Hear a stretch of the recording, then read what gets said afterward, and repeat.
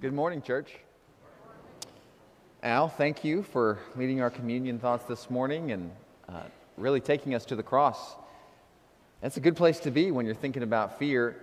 I, I, want to tell you a little bit about the title of this series, Fear Less. Uh, but before I do that, I'm going to ask you to do something I don't normally do because usually after I tell you to do this, you end up not listening to the rest of the sermon. But I need you to get your phone out for like 30 seconds. Get your phone out. What I want you to do is there's a number on the screen, and I'd like you to text something you're afraid of to that number. It's anonymous, we won't know who you are. A few reasons we're wanting to do this. One is, as I develop this series and, and teach and preach through this series, I want to make sure that over the next few weeks, the kinds of things I'm talking about match up with the things that we are actually afraid of collectively as a body. And then, secondly, I won't be able to cover everything that we're afraid of. And so we're actually trying to develop a, a resource page specifically so you can go there and, and find something that you and others in the room are afraid of. And then we're going to have some resources and other things that you can um, look at based on that particular fear. So get your phone out, please and just text this number something you're afraid of. If you're sitting next to your kids, they don't have a phone, ask them what they're afraid of. You can text them multiple answers. And, and I want to hear from all, all age groups. So, teens, I want to hear from you what you're afraid of. College students want to hear from you.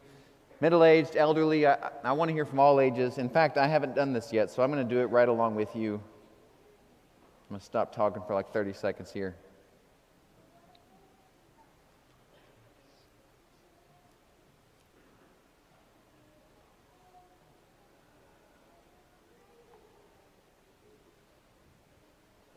Okay, you, you can finish that up. I appreciate you doing that. Let me, let me talk about the title real quick Fearless. Fear is not always a bad thing. Fear is what makes you drive a little slower when the roads are icy. Fear is what keeps a toddler from running into the street when the toddler hears their mom yell at them. Uh, fear is what keeps you from making a bad financial decision, buying something that you can't afford. Fear is what keeps you from getting into a relationship.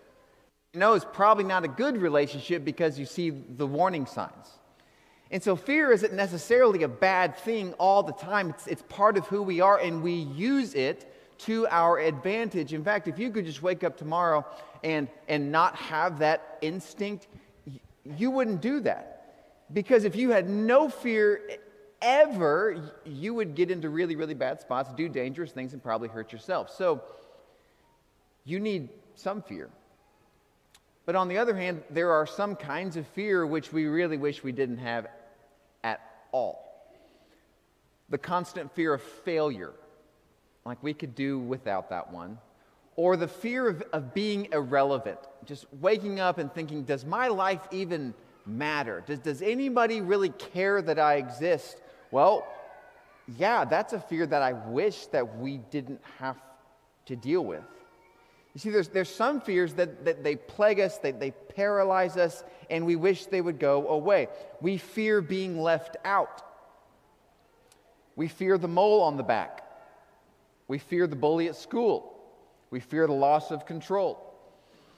We fear the agenda of the other political party.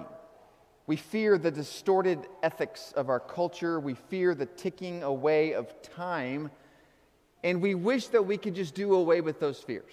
And so here's the big idea of, of the series. And this, this big idea actually comes from two sources, but I'll, I'll tell you the big idea. That, The big idea is this you can't actually be fearless, but what you can do is fear less. Now, this comes from two sources. One is prolific author and speaker Andy Stanley. This is a great quote from him I actually heard a while back, but I, I find this very liberating.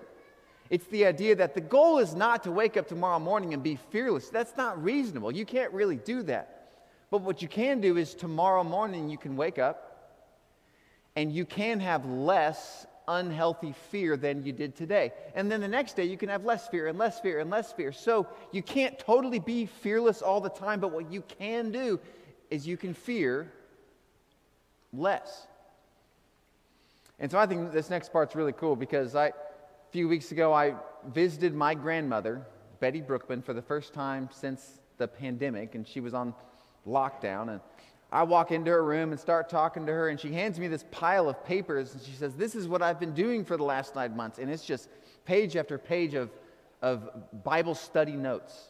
And so I take all these pages and start, I start reading through them, and then I come across one particular page, and I want you to see what she wrote in her own handwriting. She wrote this Fearless isn't possible in our world, but fear space less, we can do this. So my grandmother Betty wrote that. So I think Andy Stanley is stealing from grandmother Betty. In fact, just to be an encouragement to her, because at some point she'll see this message, I'm going to count to three. And I just want everybody in the room to say, We love you, Betty. Here we go. One, two, three. Thank you. Get good grandson points for doing that. I appreciate you doing that. Now, the question then is all right, I, I get that, Phil. We, it's possible to fear less, but how do you do that? Well, I want to journey with Jesus today in, in one of his great stories about fear, Matthew chapter 8. So, Matthew as a gospel writer, he, he uses the word follow more than any other gospel writer. Talks a lot about following Jesus. So at the beginning of his gospel, Jesus calls his disciples to follow Jesus. Then there's the Sermon on the Mount, and after the Sermon on the Mount, chapter 8, verse 1 says that large crowds are following Jesus, and they have good reason to. Jesus is healing the sick, he's teaching these incredible sermons, he's refuting the legalism of the Pharisees. He's bringing God's kingdom into the world. So Jesus is doing what people for a long time have, have thought God's going to eventually do in the world. And so that there's so much momentum surrounding Jesus. Everybody wants to follow Jesus. Well, here's what happens next. I find this verse so interesting. Matthew 8, verse 23. Then he got into a boat, and his disciples followed him, which is what they're supposed to do, suddenly a furious storm came up on the lake. Have you ever connected those two verses in your mind? The storm that comes on the lake immediately comes after the line they followed him. Like to me, it would actually make a little more sense if it were to say something like the disciples followed Jesus onto the boat, and then a rainbow appeared in the sky, and some seagulls flew over the lake, and some Galilean dolphins just swam by the boat. It just seems like a more pleasant picture, but the Bible's making a point here. When you follow Jesus, that is no guarantee that, that you're not going to be caught in a storm. In fact, storms are the greatest teachers of God. And so, if you're going to get in the boat with Jesus, expect to get drenched. Sometimes we think, well, if I just follow Jesus and just do the right thing, then surely my life is going to be easy. But that's not necessarily the case. In fact, I think Jesus takes them onto the boat so intentionally here because he wants to teach them a lesson. I years ago I was a ropes course assistant. And so my job was to get people harnessed up and help them through the course.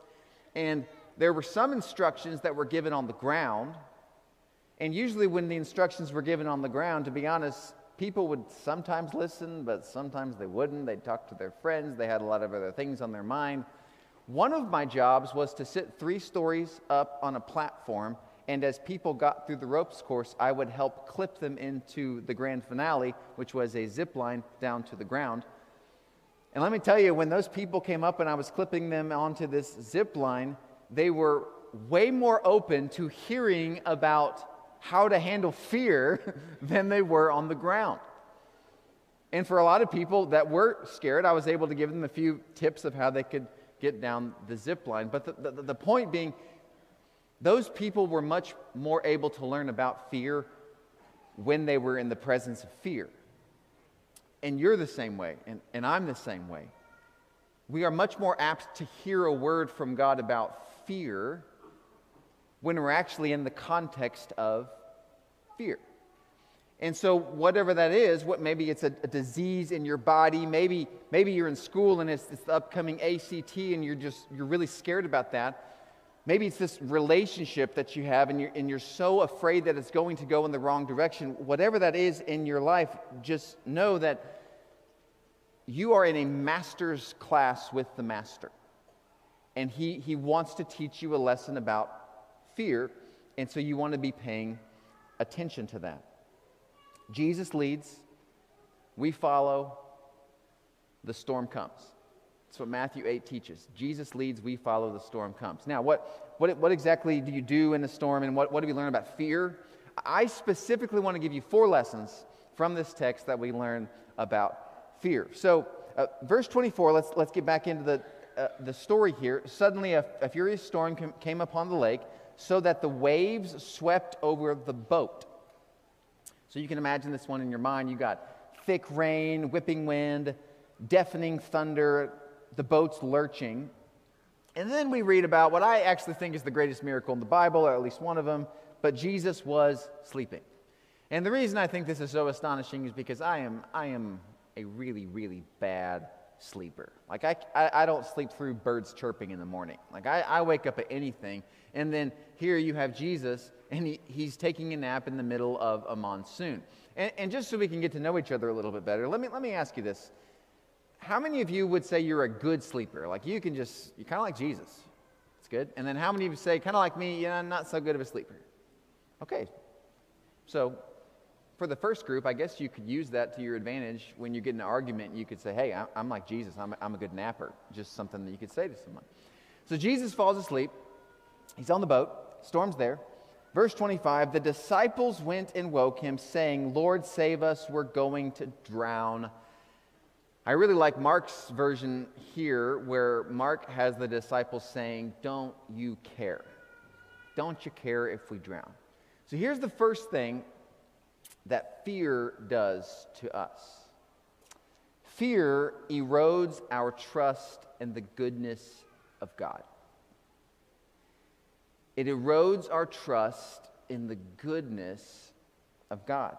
So notice the disciples, they don't ask him about his power. They're not like, oh, Jesus, we believe that you're so powerful and we know that you're from God and you're going to calm this storm. Nor do they say, Jesus, is there anything you need us to do in the storm? What they actually do is they question his character, which is odd because they know Jesus. Jesus has taught them, Jesus has nurtured them, Jesus has been with them, he has loved them. And yet, in this moment, when they're stricken by fear, they can't help but question the character of the Son of God. That's what fear does. Fear will always erode your trust in the goodness of God. Here's the second thing that fear does fear deadens your spiritual memory. So, the disciples, in the same chapter of Matthew, here's what's just happened. Jesus has healed this leper. He's gone out of his way to go into the, this leper's world. He was willing to touch this unclean leper and heal the guy. Uh, Jesus then healed a, a Roman's uh, uh, child, and, and that was a really fascinating story because Jesus goes outside his main realm, which was the Jews, to actually serve and help and bless someone that most Jews would consider an enemy. And so Jesus is declaring that it's not just about one group of people, this is really about the whole world. And then also in chapter 8, Jesus goes to Peter's house and he heals Peter's mother in law. So, over and over again, in the same chapter, Jesus is demonstrating that he has power over the physical world. And then they get into this boat and the storm comes and they forget that. Because that's what fear does. Fear, fear takes away those powerful spiritual memories that you and I have. You see, fear is the tyrant of the mind. Fear does not play well with others. In fact, when fear comes into your mind, guess who the first other emotions are to leave, or other things are, virtues to leave?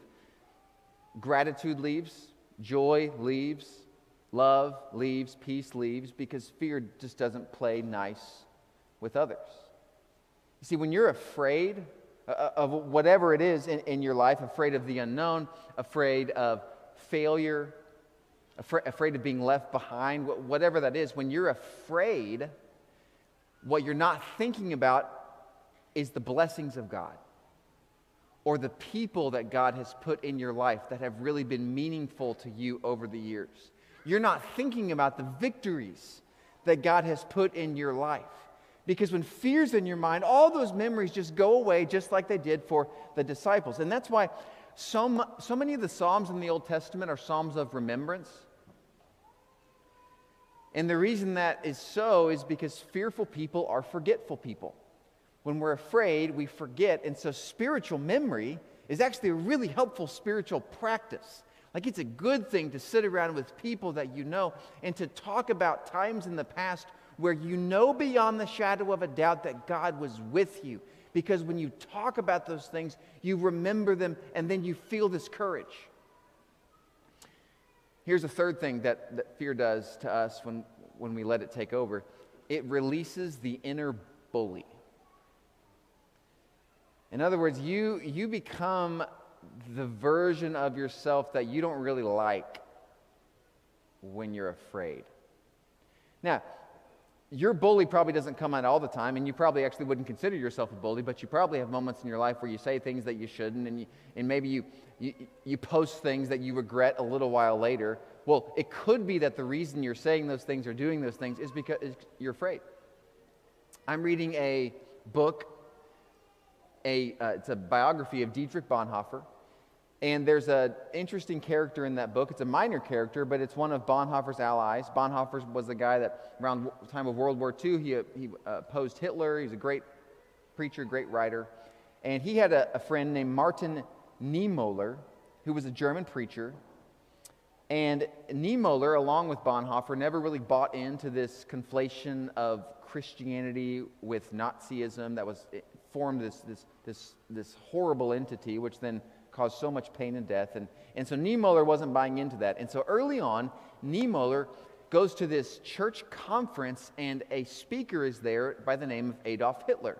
And this is way before, this is like 15 years before Hitler becomes the infamous Hitler that we all know about. He's just this up, up and coming politician. And Niemöller hears the speech and he stands in the back of the room. He doesn't ask any questions, but he goes home and he tells his wife one thing. Here's what he says I discovered that Herr Hitler is a terribly frightened man. Wasn't that an interesting thought? And so, like, what drove Hitler to become this, this mass murderer? The thing that drove him there was fear.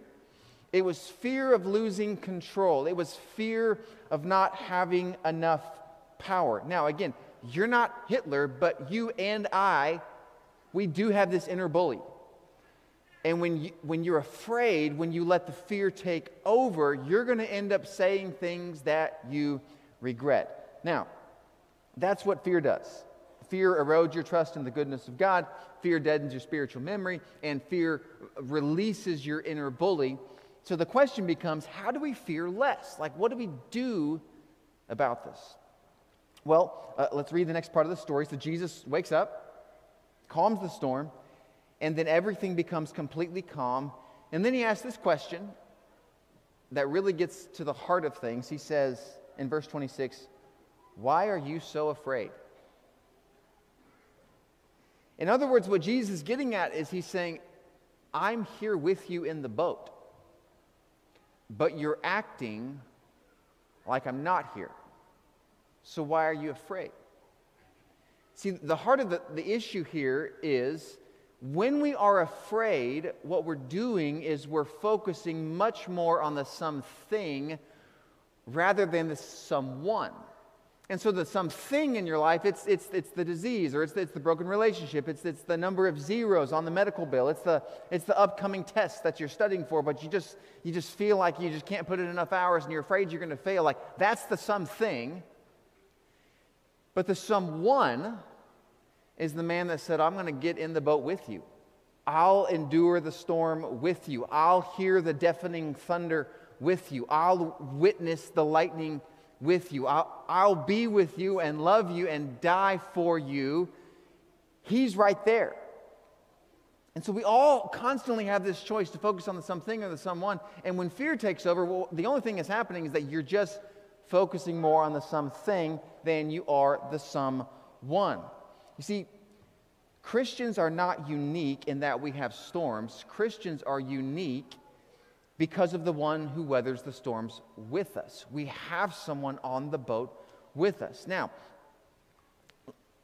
how do we actually do this? Like, I've, i love this text. I preached on this text. It's a great passage about overcoming fear. But, but this particular reading, I, I, in my own mind, I was wondering, like, that makes sense. Focus on Jesus, not the thing that you're afraid of. But how do you really, really do that? In fact, well, I've never thought this about this text, but it just struck me like, what did Jesus expect them to really do? Like, I get it that he's calling them out, but like, if the story were rewritten, what would the positive example be? Like, I, I obviously, it's good. It's a good thing that Scripture gives us examples of here's what's not to do, but I like when Scripture says here's what to do, and, and I replayed the story in my mind, and I was like, what, what are they supposed to do?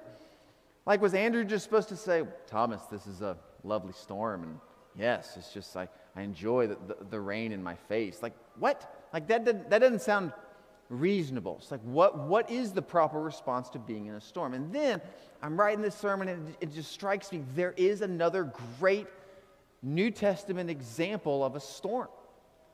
Happened 30 years later, about a thousand miles to the west. And the second storm was actually worse than the first storm. The second storm had a name, it was called the Nor'easter. And it, it, was given this name because there was this really strong wind which would come off a mountain on a certain island, and, and the wind would go onto the sea, and it would get up to 75 to 100 miles an hour. And there was a boat that got caught in that wind, and the Bible describes the wind as a wind of hurricane force. And there's a bunch of people on this boat, and they can't sail out of the storm, and they try everything they can do on the boat to get out of the storm, but nothing works.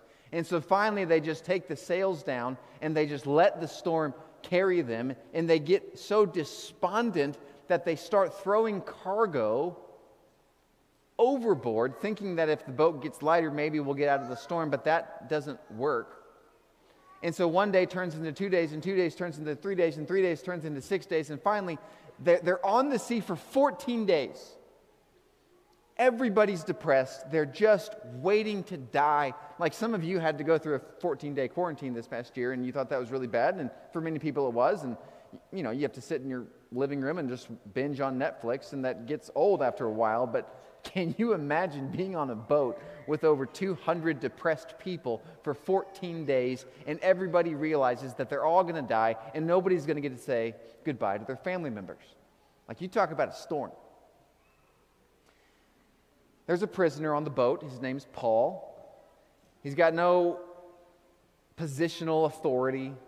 He doesn't have a bunch of sailing expertise to get them out of the storm, but what he does have is this remarkable amount of courage. And what he does in this story is so, like, it's remarkable. And I think this is going to, I hope this is the big takeaway as far as what we can do with our fear. So, Paul, he's on the boat. The worst of the depression is sinking in, and look at what he does. This is Acts chapter 27, verse 35. He took some bread, he gave thanks to God in front of them all, he broke it, and they began to eat. Now, if you're just reading your Bible, you're probably just going to pass right over this as, as, as just a, you know, not that important of, of a line. But if you know the author Luke, it's a very important line because you, Luke uses these verbs in some other pretty critical places in the gospel story. Took bread, gave thanks, broke it. What does that make you think of? Took bread, gave thanks, broke it. Those are the exact same verbs that Luke uses in Luke 22 when Jesus takes the Last Supper with his disciples. They're the exact same verbs that, G- that Luke uses in Luke 24 when he breaks bread with the people on the road to Emmaus. So when these verbs come up, it's Luke's way of saying the presence of God has come in, into the world. And so Paul uses the same language, and he's on a boat, and he stands up and he says, We're going to take bread, we're going to give thanks, we're going to break it, and we're going to eat together. And so here's, here's the fourth lesson we learn about fear it's that fear cowers before practiced faith. Like as you think about how you're going to deal with fear in your life, like, like right now, today, this week, a lot of things, times, what we will what we will think is, well, if, if I can just get the right information in my head, I can beat this fear. In other words, we think, I'll just outthink the fear. But what I'm telling is, you, you don't outthink fear, you out church fear. This is why it is so important that we gather together and sing these songs and, and, and open the word and, and break the bread and, and take the fruit of the vine and just talk to each other in the hallways. And, and, and Lord willing, as we get out of this pandemic, we get back to the ability to, whether it's fist bump or shaking hands or hugging, like, like we were meant to be together. You don't outthink fear, you out church fear. This, this is the same reason why, in former days, long ago, when, when, when, slaves were trying to get through their, their days of tyranny and oppression and, and beatings, they didn't think their way through the day, they sang their way through the day. And there was something about practiced faith that enabled them to move forward in the middle of their storm as courageous people. And the same can be true of you, and the same can be true of me our fears, they, they come to church to die. This is part of the reason we come to church. And so, part of putting your faith into practice is reminding yourself and each other of the promises of God. So, Paul, when he's on this boat, he, he spends a lot of time in prayer and he gets this word from the Lord that, that people aren't going to die. Like, ship's going to break apart, but they're going to make it. And so then Paul stands up in verse 25 and says this. He says, and again, this is 14 days into this. He says, Keep up your courage, men, because I have faith in God that it's going to happen just like He told me. Nevertheless, we must run around, run aground on some island. So, what exactly is Paul doing now in, in his storm? And here's where I think it gets really interesting. Paul is doing in his storm what the disciples did not do in theirs, which is to focus on the someone over the something. And Paul's in the same storm as everybody else. But somehow, some way, Paul has learned to fix his attention on the presence of Jesus. And what makes this even more remarkable is that the disciples had the physical person of Jesus on the boat, and they were still terrified. Paul doesn't have the physical person of Jesus on the boat, but he has the presence of Jesus in his heart via the Holy Spirit. And he is so in tune with that Spirit that he is able to focus on the someone, Jesus, rather than the something. And then the coolest thing happens because courage is contagious. And so Paul stands up and says, We're going to make it. Yeah, the boat's going to break apart, but we're going to make it. And then other people start to realize, you know what, if he believes that, I believe that. And again, that's why church is so important. It's because sometimes you're going to say something to me that I need to hear. You're going to remind me of a promise of God that I needed to hear. This is why we come to church, and this is how we can weather our storms. You know, you might be petrified right now because you feel like you're in the hands of a brutal storm in your life. But maybe the promise of God that you need to hear this morning is that that storm is actually in the hands of God. And God is going to do what He promised. You see, God never promised to take us out of our storms, He promised to lead us through them. Because again, if you follow Jesus, you're going to get drenched. But while you're on the boat with him, you have this choice to focus on the something or to focus on the someone. And I'm telling you, just like Paul, you have the ability to focus on the someone. And you might say, Phil, I, I, just don't know if I can do that because my storm is really hard. And there's just no, there's, there doesn't seem to be any indication that it's going away. Like, how am I supposed to do this? Faith. That's why we call it faith. We believe that God is who God says He is, and we believe that God will do what He's promised to do. You see, one thing that I, I believe is that if I had been on that boat and I'd seen Paul stand up 14 days in and say, We're going to be fine, we're not going to die, I would have thought, Psh, Sure. I would have thought, What a gullible, naive prisoner. And I would have waited till he got done with his speech, and then I would have curled back up and probably wallowed in my fear again. But here's the thing that nobody could deny on the boat that day nobody could deny the fact that Paul had less fear than everybody else. You can't be fearless, but what you can do is fear less. And you've taken the first step this morning already just by coming to church. Because again, church is the place where fears go to die.